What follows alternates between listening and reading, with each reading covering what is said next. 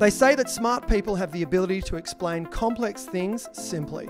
And that is the perfect description of our next presenter, Munro Partners Chief Investment Officer. Nick Griffin holds the title for Best Pick of 2021 with OnSemi. Let's see what hidden gem he has for us today. Paul Kelly, probably one of Australia's best singers and songwriters, but he also tells a really, really good story. And so, what I'm going to do today is I'm going to try and channel a bit of my inner Paul Kelly, and I'm going to try and tell you a really good story. Hopefully, a good story. And so, what we've done here is we've brought a little virtual campfire along. And we want you all to imagine that we're out in the Tasmanian wilderness and we're all huddling around this virtual campfire. And we're all telling really tall stories, really tall stories about things that you could barely believe are possible. And we're all competing with each other to tell better and better stories. I feel like this conference, really. Now, the story I'm going to tell you is a pretty tall one. It's going to have all sorts of the usual things. It's got a hero in it, it's got a villain in it, it's got a little bit of regret, and it's got a, a message of hope at the end. The story is about a company that makes really, really little things that helps big things grow. So gather in close and let the story begin. And so we've all lived a lifetime, a lifetime of story of making things smaller and better. Everyone knows the story that the iPhone in your pocket today actually is 100,000 times more powerful than the computer that sent the man to the moon. But what we actually don't know, or what we also probably do know, is that it's semiconductors, it's actually the shrink in semiconductors that allows this to continue. It's our ability to get more and more transistors onto that silicon wafer that actually allows semiconductors to get faster, smaller, and better, which ultimately allows these industries to improve over time. But the key player we want to talk about this story is the one that allows this shrink to continue. That's the key player that we're going to be talking about today. And so what we all know is these companies at the bottom, these are the users. These are the companies that make the products that we use every day that make our life better. And we probably also know about the semiconductors on top of that. They're the guys designing the semiconductors that go into these products that make them better. But what you probably didn't know is that they don't actually make the semiconductors. It's actually the foundries that make the semiconductors. These are the companies that are basically specialize in mass production of semis, mass production of shrink. And what we're interested in today is the tools that is actually helping them do that shrink. Because it's the tools that helps them do that shrink that allows the designers to make better semiconductors, that allows the products to be better and better every single day. And there's one particular tool we want to talk about today that's actually the key highlight of our story. And so, like any good story or any good campfire story, it usually happened in a faraway place, and the, and the details are usually pretty sketchy and hard to verify. But to fix that problem, what we're going to do here is we're going to take off from the Tasmanian Convention Centre, also the Hobart Convention Centre, and head all the way over to the Netherlands, to the small town of Veldhoven, population 45,000 people. And here in Veldhoven, you'll find what we think is probably the world's most important factory. And at this important factory, you're going to find lots of really important people in white coats.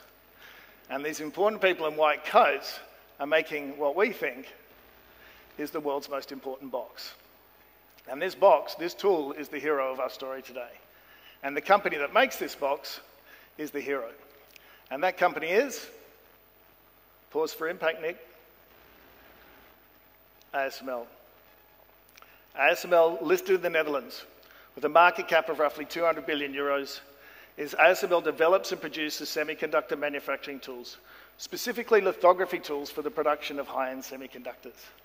And so rather than sit here and tell you what this box does and take this story off on a really, really, really long tangent, I'm just going to tell you what lithography is and why it's important. You see, lithography is essentially just a stencil, no different to the one we put on the roadside there. But it's a stencil for semiconductors. It's a stencil that allows us to get more and more transistors onto that silicon wafer. And what's important about this stencil is the more precise the stencil is, the more transistors you can put on there.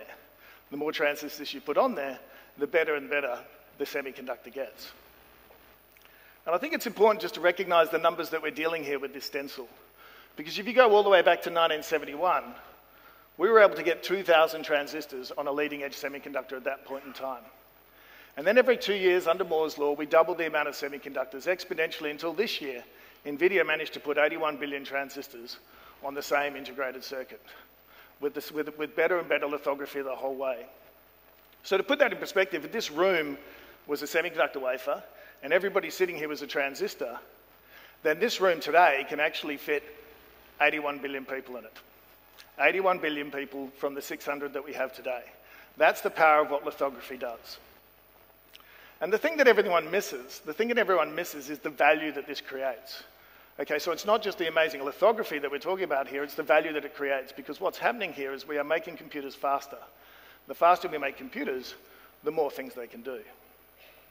And so, from my point of view, I first, if you think about the internet as just being a big computer, I first touched a computer in 1996. I was sitting in an internet cafe in Brazil, and I was on Google, and I sent an email to my parents, and it said, please send more money. but that was all it could do. But then as we moved further, as shrink continued and as lithography shrunk, we could do more. It eventually got on our telephones, and that creates more value. That creates Apple. And then it shrinks further, we can share pictures. Then we can do e-commerce, then we can do payments. Then we can stream video. All this value created from shrink. And now we sit here today in the sharing economy where my kids can sit in their bedroom, they can get onto Uber, they can order Uber Eats, they can track the Uber to our house, they can go outside, get the food, go upstairs and eat it. The payment goes to the cloud and comes out of my bank account, all without me even knowing about it. and all of this is happening, all of this amazing way to take money off your parents is happening because of the, impro- the improving growth of semiconductors, the improving growth of shrink. And so it's important to remember it's not just technology, it does good things as well. So hospitals have more, more better equipment. We can make glucose devices that can track your blood monitoring. We can make surgery, we can make robots that do surgery. We can cure a pandemic, and we can even do personalized medicine. And it's all happening because we're fitting more and more transistors onto that uh, integrated circuit. The reality is, from little things, big things grow. And so the best part of this story is that ASML, our hero of our story, is in fact the only hero. There can only be one. It is a monopoly of high-end lithography. Back in 2005, there were a number of companies that could do this, but as shrink continued, it got harder and harder. That box I showed you before is actually called an EUV machine. An EUV machine, basically in 2008, cracked the problem of putting more than 100 million transistors on one millimeter squared. And now, since 2018, all further shrink can only be done with EUV technology. And so if you have the power to create value well into the future, and you're the only one that has it, well, then you can charge for it. ASML sells one of these boxes for roughly 190 million euros. And the next box that's coming, the high-NA EUV box, they sell for roughly 350 million euros. And that's roughly the price of an A380 Jumbo. And so from that price, at that price, who the hell's buying these things? It's the foundries. Those foundries I told you about earlier, they're the people that have to create the shrink. They are on the never ending race to shrink because how they sell better semiconductors to their customers is by shrinking. They constantly compete with each other to get through lower and lower nodes, and they do that by buying more and more ASML machines. None of them ever wants to give up on this race because you can never afford to fall behind. Adding to the story is the new villain in our story. We actually have a new villain that wasn't there a few years ago, which is China. China on the right here, with its intentions towards Taiwan, basically has the rest of the world effectively bricking itself that they don't have access to high end semiconductors. And so now we've seen more than $300 billion worth of spending announced to build semiconductor capacity outside of Asia, to effectively diversify away from these sources. Putting that together, and ASML is going to sell a whole bunch of EUV machines. It's grown significantly to 2018 to roughly 40 this year per annum. But we expect this to grow to roughly 90 by 2026, and after that, they'll start selling the high-NA EUV machines. ASML, consequently, ASML's revenue will grow dramatically to roughly 15% per annum, all the way to 2030. And it's pretty much economically insensitive because it all over-indexes to this EUV rollout opportunity. Putting that together, we see ASML's EPS actually growing from roughly 14 euros today to 41 by 2025 assuming it holds its 27 times multiple, we'd expect this company to deliver 105% return over two years, or roughly 50% per annum, for a considerable amount of time. The second thing I'd just point out is that red line is the share price. The share price has actually fallen 30% this year. It's fallen with the rest of the semiconductor universe, mainly, but, but we actually expect their earnings to accelerate. And what you're actually getting here is a unique opportunity to buy a company that we've actually owned for over a decade. In fact, I've wanted to pitch this stock at SOHN for all of the last four years. And the only reason I didn't do it because this is a bloody complicated story to say in eight minutes. And I'm running up against the red line, so I need to wrap this up.